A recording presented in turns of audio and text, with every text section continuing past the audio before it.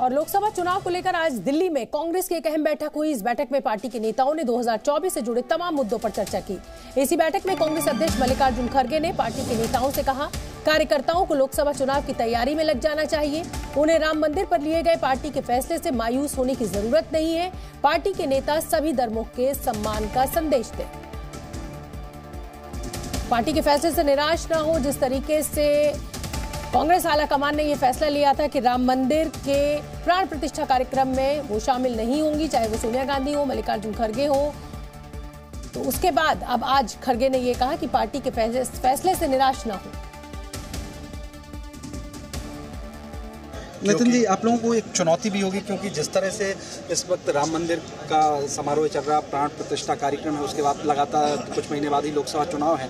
ऐसे में कैसे आप लोग काउंटर करेंगे जब आपकी पार्टी के नेता शामिल नहीं हो रहे हैं प्राण प्रतिष्ठा में? इसको लेकर कुछ चर्चा हुई? बिल्कुल हुई और जिस तरह से एक भ्रम फैलाया गया कि हमारे राष्ट्रीय अध्यक्ष आदरणीय मल्लिकार्जुन खड़गे जी एवं मैडम सोनिया गांधी जी कि उन्होंने कहा कि वो वहाँ नहीं जाएँगे। ये एक भ्रम है।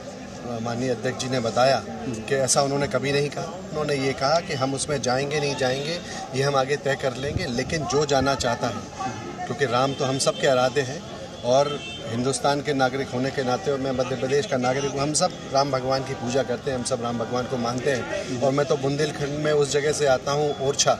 पृथ्वीपुर मेरी जगह है, ओरछा समीप है, जहाँ राम राजा, राम भगवान को राजा की तरह माना जाता है।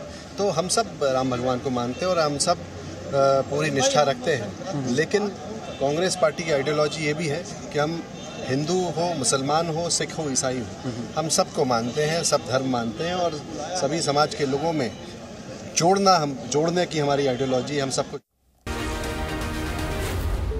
न्यूज़